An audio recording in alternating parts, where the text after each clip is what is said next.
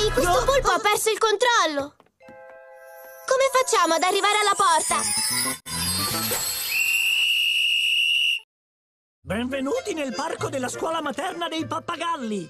Al direttore della scuola serve il vostro aiuto. Ascoltate, oggi la campanella e il direttore non può suonare. Se per caso il Drin Drin la riesce ad ascoltare, con sé la vuole portare. Dovete richiamare la loro attenzione e fare tanto rumore, così che ora i pappagalli capiranno e a scuola rientreranno. Certo che questa anatroccola ha un gran bel vocione. Certo che questa anatroccola ha un gran bel vocione. Devi stare attenta, Dilai!